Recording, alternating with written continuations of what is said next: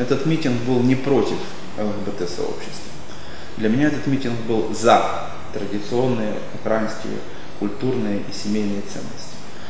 А, в Украине в целом, по оценкам разных экспертов, от полтора до трех процентов населения а, имеют э, признаки нетрадиционных ориентаций, которые вот входят в общее обозначение ЛГБТ-сообщества. Соответственно, есть 95, 97, 98 процентов населения, которые исповедуют традиционные украинские семейные ценности. Это мужчина и женщина, это рождение детей и так далее. Ну, мы знаем, о чем мы говорим. А, я считаю, что а, Конституцией гарантированы права всем гражданам Украины. Если ЛГБТ-сообщество имеет право провести марш в Киеве на Оболонской набережной, а, при полном содействии и защите местных, местных органов самоврядования, милиции и так далее. Безусловно, люди, которые представляют другую часть населения, значительно больше, имеют эквивалентные, равные права с представителями ЛГБТ-сообщества.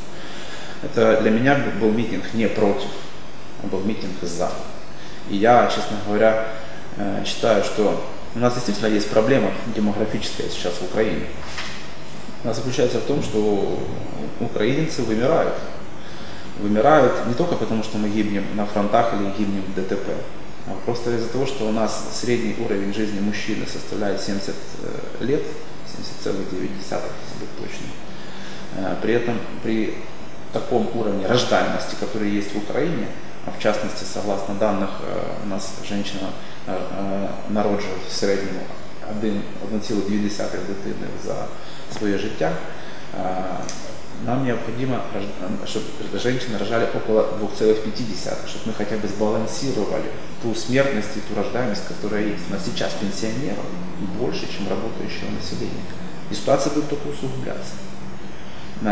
Это проблема государственного масштаба. Если мы хотим сказать, что украинская нация нам не нужна, если мы хотим сказать, что украинцы перестанут существовать там, через там, 30 лет или 50 лет, и это нормально, давайте с этим спокойно мириться. Если нет, давайте все-таки думать, каким образом государство должно стимулировать создание семьи, стимулировать рождаемость, каким образом государство будет поддерживать матерей, каким образом государство будет финансировать сначала э, ребенка, когда он ходит в садик, затем в школу, потом каким образом обеспечить ему высшее образование. Иначе просто у этой страны нет будущего. Вот и все. Именно за это я выступал, а ни в коем случае не против. Ну, одним из основных тезисов было все же, вы даже только что косвенно это подтвердили, что гомосексуализм также убивает украинских граждан, как и алкоголь, как и наркотики. И в то же время, я помню, что в ноябре прошлого года вы голосовали за запрет дискриминации. Я голосовал за равенство. И я сейчас тоже говорю про равенство. Вы не сможете отрицать факта того, что ребенок биологически может возникнуть в результате отношений мужчины и женщины, и никак по-другому. И мы не можем Верховной Радой, мы не можем э, конвенциями ООН, законами или распоряжениями мэра города Херсона изменить данное установленное правовые правила. Э, да, я с вами согласна, но тем не менее вы сейчас говорите о демографических проблемах. Неужели, э, ну, считаете ли вы, что дети должны рождаться просто огромным количеством для того, чтобы улучшать демографическую ситуацию, при том, что постоянная статистика, какой-то процент детей э, все равно бросают родителей своих детей. Или же дети должны рождаться в семье, в любви, и чтобы родители обеспечивали их дальнейшее развитие, воспитание. Мы говорим про разные категории. Для того, чтобы э, ребенка бросить, он сначала родить для того, чтобы у ребенка возникли проблемы в семье, и он не только родить, а еще и создать семью до этого. Понимаете? То есть мы в данный, в данный момент мы говорим о том, что у нас дети просто не рождаются. Когда их будет рождаться много, когда мы решим вопрос рождаемости, когда мы поднимем порог смертности на более высокий уровень, когда мы сможем говорить, что тенденция по уменьшению украинского населения, украинской нации изменилась, мы, безусловно, можем продискутировать и про проблемы в семье. Я, я согласен, что они существуют. Но пока мы говорим о том, что э, у нас э, не о чем больше скоро будет говорить. Понимаете, в чем дело? Я об этом, об этом именно говорю. Я не отрицаю э, проблем в семье, я не отрицаю, что у нас есть брошенные, брошенные дети. Я видел и на наших округах в том числе, что иногда люди рождают детей, народживают детей для того, чтобы получать компенсацию от государства. Такие случаи бывают. Но, знаете, вот э, то же самое, что вот на дорогах есть ДТП. Но это не значит, что мы должны перестать ездить на машине. Поэтому мое мнение, э, что, конечно, надо комплексно смотреть на проблемы семьи, но прежде всего должна быть семья. Семья в традиционном, закрепленном в Конституции э, виде. Когда есть мужчина и женщина. Я ни в коем случае э, не говорю против. Вы правильно заметили, что я голосовал за отсутствие дискриминации. Никакой дискриминации быть не должно. Точно так же не должно быть дискриминации по отношению моего мнения. Вот я за традиционные ценности. Почему э, кто-то должен говорить, что я не имею права об этом говорить вслух? Нет, я имею права. Ты не говори. Да.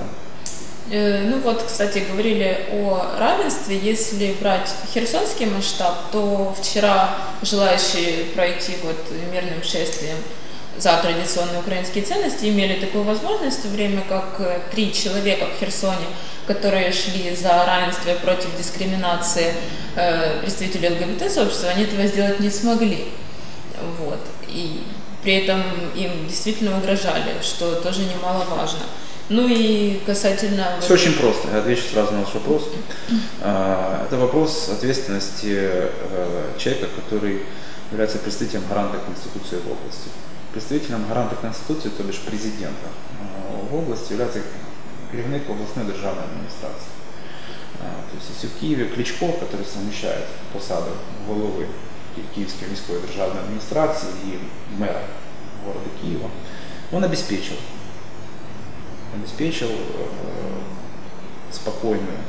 спокойное проведение марша ЛГБТ-сообществ. Я видел лично, как это происходило. Все было очень культурно. Да, была милиция э, для охраны общественного порядка. В Херсоне тоже, кстати, есть милиция. Ее тоже можно было использовать. И данные 3, там, 10 или, может быть, 50 было человек, они могли бы, безусловно, э, реализовать свое конституционное право на самоопределение, на гендерное самоопределение. Э, то есть это вопрос к органам местной власти, к назначенным органам, почему они это право не дали людям реализовать. Не более того. Ну и говоря о демографической ситуации, я думаю, что вы как народный депутат имеете для этого больше рычагов повышать не только участие в подобных мероприятиях, пропагандировать, а повышать в том числе уровень жизни, потому что молодые семьи, которые сейчас э, создаются, да, они тоже многие не хотят заводить детей именно потому что низкий уровень жизни, они не могут себе финансово позволить содержать детей, там больше, чем одного или одного или больше. Абсолютно, я об этом, об этом сказал.